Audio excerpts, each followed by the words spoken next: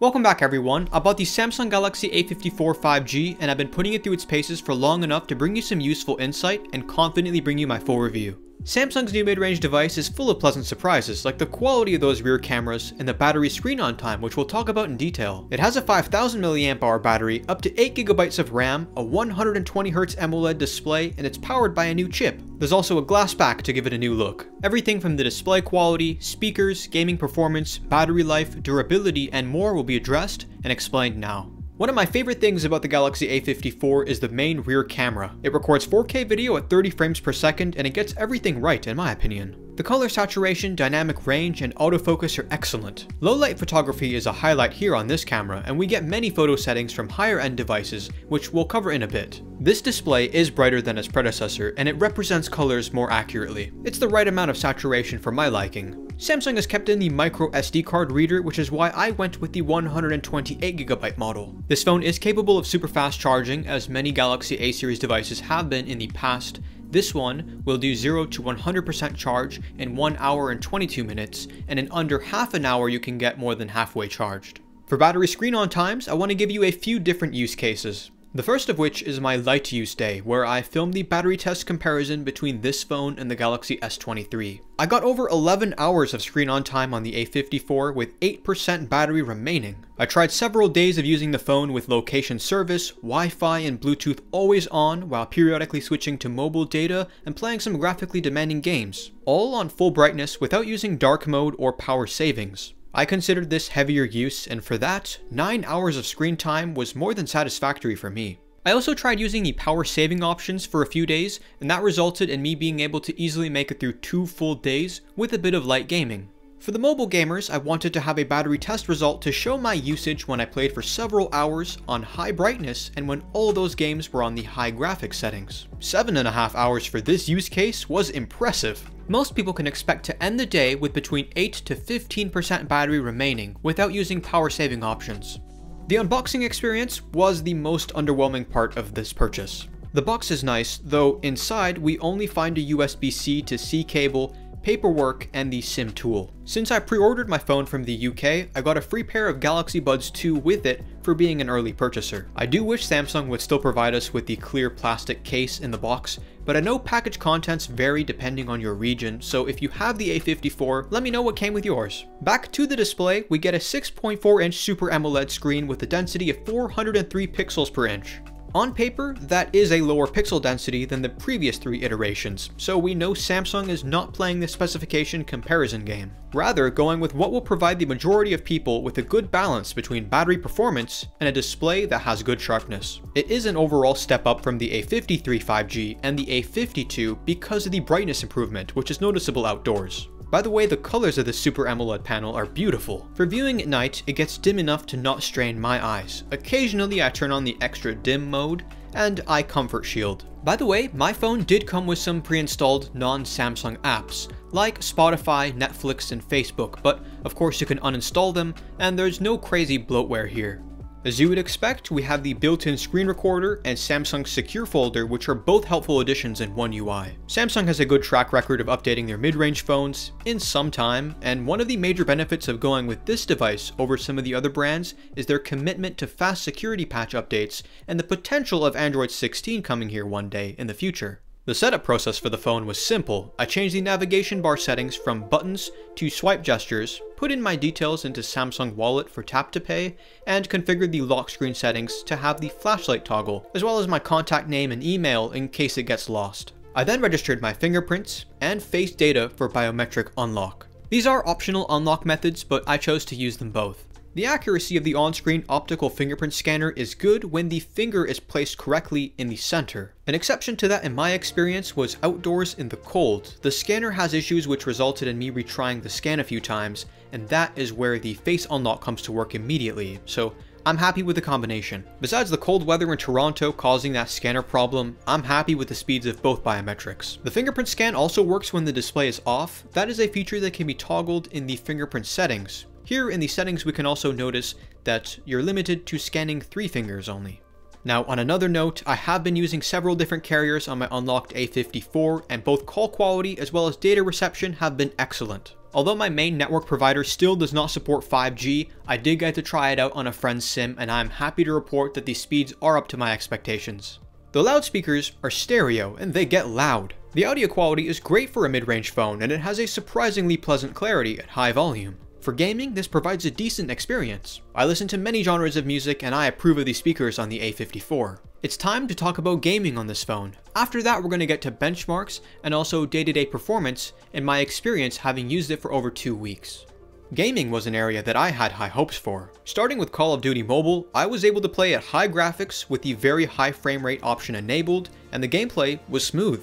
Thankfully, I did not experience the frame drops that were present on previous Galaxy A series devices at the high frame rate mode. I played for over an hour on high brightness and there was no heating issues. Even playing competitively, I felt like I had nothing going against me here, and the hardware is not a bottleneck at this setting. PUBG Mobile is limited to the high frame rate option at HD settings, and on that mode, it is quite enjoyable. The chipset didn't overheat in this game either, and the gameplay was smooth. I noticed the battery consumption of this game was lower than on any Galaxy A series devices I've tested before on this graphics setting option. New State Mobile plays at ultra graphics quality on max frame rate option which was again a smooth experience that impressed me. Apex Legends was also a great title to play on this phone, I had a lot of fun in this game and the performance was right up to the level that I expected. Same can be said about Minecraft, this game takes advantage of the high refresh rate of the A54 and there was no lag. It is nice that none of these games caused overheating in my experience. On that topic, I did not feel a significant amount of heat coming from the phone when I did that 11 hour battery drain test. Credit to Samsung for doing right with thermals in this chip. Although I can tell the difference between gameplay performance on a current Samsung flagship phone with a Snapdragon chip and this Exynos phone, I will leave further flagship comparisons for the dedicated S23 versus A54 head-to-head -head comparison video. Nothing should take away how impressive this Exynos 1380 chip is for the price range. That price is higher in almost every region I've seen this year as compared to previous models, so for that we have got to have higher expectations for benchmarks as well as day-to-day -day performance. The benchmark results are promising as to an improved CPU and GPU performance over the previous models. The Geekbench 6 scores are in the ballpark of what I expected, as is the Geekbench machine learning test score. In day-to-day -day use, I can say the Exynos 1380 in this phone has been very smooth running adaptive 120Hz on all the supporting apps.